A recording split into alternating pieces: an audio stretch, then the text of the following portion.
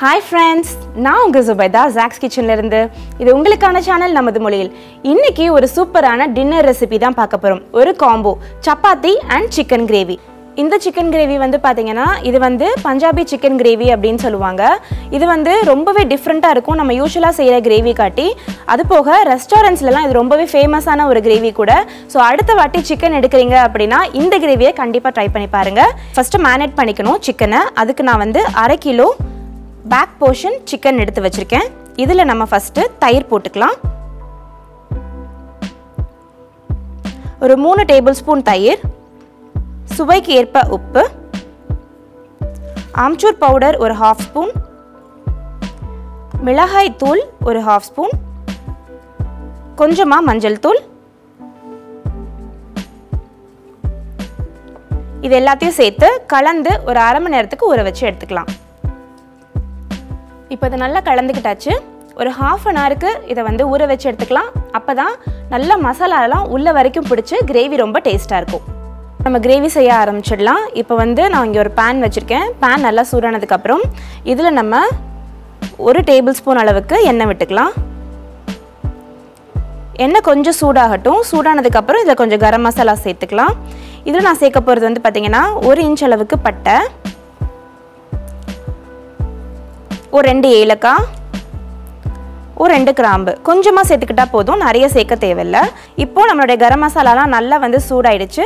அடுத்து இதில் நம்ம இஞ்சி சேர்த்துக்கலாம். ரெண்டு இன்ச்சு இஞ்சியை நல்லா இந்த மாதிரி கட் பண்ணி வச்சுருக்கேன். அதையும் சேர்த்துட்டு ஒரு அஞ்சுலேருந்து ஆறு பல் பூண்டு எல்லாத்தையும் ரஃப்பாக சாப் பண்ணி சேர்த்துக்கலாம். ஏன்னா அது எல்லாத்தையும் நம்ம வந்து வதக்கிட்டு அடிக்க தான் போகிறோம் மிக்சியில் போட்டு அடிச்சுக்க போகிறோம் இப்போ ஒரு ரெண்டு வெங்காயம் அதை வந்து இந்த மாதிரி ஸ்லைஸ் பண்ணி வச்சுருக்கேன். அதையும் இதில் சேர்த்துடலாம். கொஞ்சமாக சோம்பு.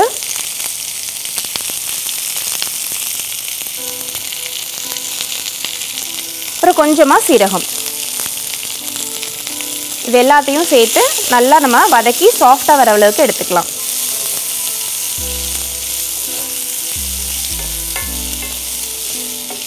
இப்போது நீங்கள் வெங்காயத்தெல்லாம் பார்த்தீங்கன்னா தெரியும் நல்லா வதங்கிடுச்சு.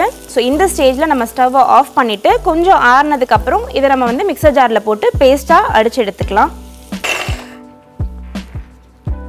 இப்போ நம்ம ஓப்பன் பண்ணி பார்த்துடலாம் செக் பண்ணிக்கோங்க. கொஞ்சம் தண்ணி தேவைப்படுற மாதிரி இருந்ததுன்னா கொஞ்சம் தண்ணி ஆட் பண்ணியும் நம்ம வந்து அரைச்சிக்கலாம்.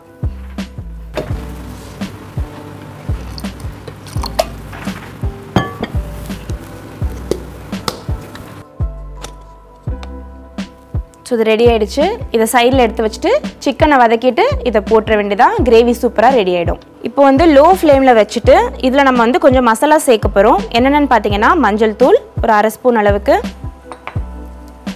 மிளகாய் தூள் காரத்துக்கு தகுந்த மாதிரி கூட சேர்த்துக்கோங்க.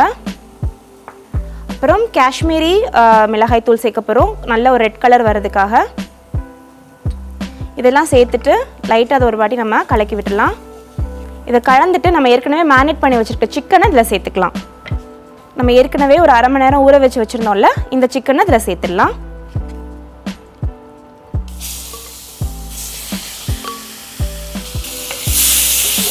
சிக்கனை சேர்த்துட்டு இதை கலந்து விட்டதுக்கப்புறம் இதில் இப்போ நம்ம அடித்து வச்சுருக்க வெங்காயம் பூண்டு இஞ்சி அப்புறம் சோம்பு சீரகம்லாம் சேர்த்து வச்சு அடித்து வச்சுருக்கோம் இல்லையா? அந்த பேஸ்ட்டையும் இப்போ இதில் சேர்த்துடலாம்.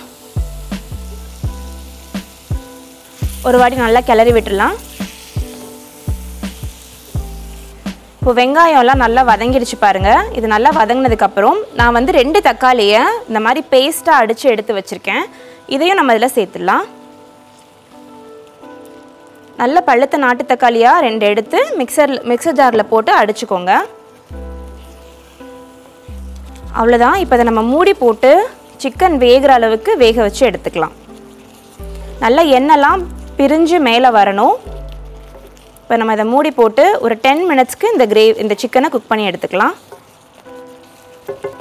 ஸோ இப்போ ஒரு டென் மினிட்ஸ் ஆகிடுச்சு சிக்கன் நல்லா குக் ஆயிடுச்சான்னு செக் பண்ணிடலாம்.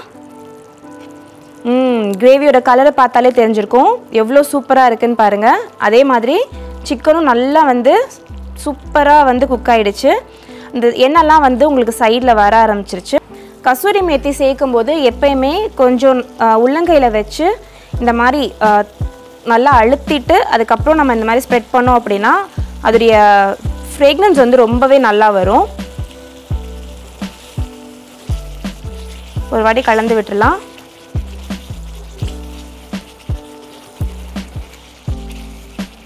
இப்போ இதில் கொஞ்சமாக டேஸ்ட் பண்ணிவிட்டு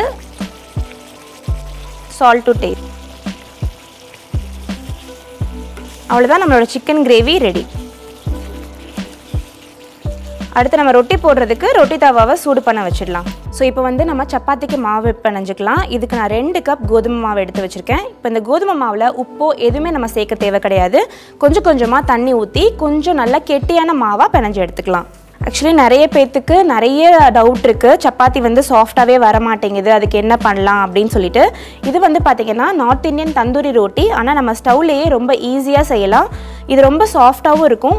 ஒரு நாள் ஒரு ஃபுல் டே வச்சு கூட நீங்கள் மறுநாள் சாப்பிட்னா கூட நல்ல சாஃப்டாகவே வரும். தண்ணி மட்டும் அதிகமாக ஊற்றாமல் பார்த்து நம்ம பூரி மாவுக்கு பிணைவோம் இல்லையா? அதை காட்டி கொஞ்சம் சாஃப்டாக பிணைஞ்சிக்கோங்க போதும். இப்போ பாருங்கள் இது நல்ல சாஃப்டாக பிணைஞ்சு எடுத்துக்கிட்டாச்சு. இப்போ இதுக்கு மேலே ஒரு அரை ஸ்பூன் அளவுக்கு எண்ணெய் ஊற்றி இதை வந்து ஒரு பத்து நிமிஷத்துக்கு ஊற வச்சுக்கலாம். ஸோ இப்போ ஃபஸ்ட்டு நம்ம சப்பாத்தி மாவை வச்சுட்டு உள்ளங்காயை வச்சு ஒரு அமுக்கு அமுக்கிடலாம். அமுக்குனதுக்கப்புறம் இதுக்கு மேலே கொஞ்சமாக எண்ணெய் தடவிடலாம். எண்ணெய் தடவிட்டு உலர்ந்த மாவு கொஞ்சமாக லைட்டாக தூவி விட்டு இதை வந்து ஒரு பொட்டலம் மாதிரி இந்த மாதிரி மடிச்சிடுங்க. மடித்து இப்படி க- இப்படி வச்சு இதை வந்து நம்ம எக்ஸ்ட்ரா மாவு எது இருக்கோ அதை இப்படி சுற்றி விட்டு எடுத்ததுக்கப்புறம் இந்த போர்ஷன் நம்ம அந்த மாவு எடுத்தோம் இல்லையா அந்த போர்ஷனை நம்ம கீழே மேட்டில் படுற மாதிரி வச்சு மேலே இப்போ உலர்ந்த மாவை தூவி நம்ம வந்து சப்பாத்தி திரட்டி எடுத்தோம்னா நல்ல பூரி மாதிரி புஷ்ஷுன்னு வரும். அதே மாதிரி இந்த ஃபுல்காலாம் நம்ம எப்படி க ரெஸ்டாரண்ட்டில் சாப்பிட்றோம்ல அதே மாதிரி இருக்கும். ஸோ இந்த ட்ரிக் வந்து ட்ரை பண்ணி பாருங்கள் அதே மாதிரி சப்பாத்தி திரட்டும் போது கார்னர்ஸ்லேருந்து திரட்டி எடுத்துகிட்டு வரணும். ரொம்ப வந்து ஃபுல் நடுவுலேருந்தே வந்து அமுக்கக்கூடாது. அப்போ என்ன ஆகும்னு பார்த்தீங்கன்னா நடுவில் இருந்து ரொம்ப ஒல்லியாகவும் கார்னர்ஸில் ரொம்ப தடியாகவும் இருக்கும். ஸோ இந்த கார்னர்ஸை வந்து நம்ம அமைக்கி எடுத்துகிட்டு வரணும்.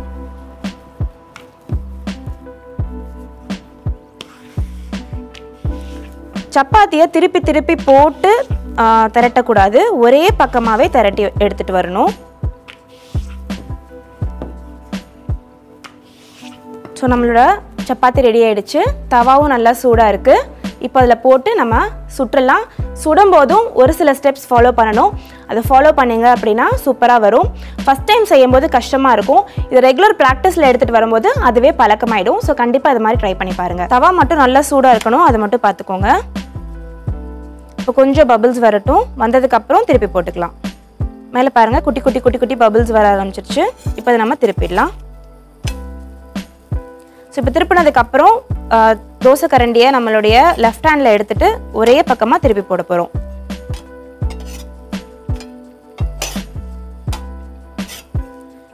ஸோ நம்ம நார்மல் தவாவாக இருக்கட்டும் இல்லை இண்டக்ஷனாக இருக்கட்டும் தந்தூரி ரொட்டி வந்து தவாலையே ஈஸியாக செஞ்சிடலாம் வீட்டில்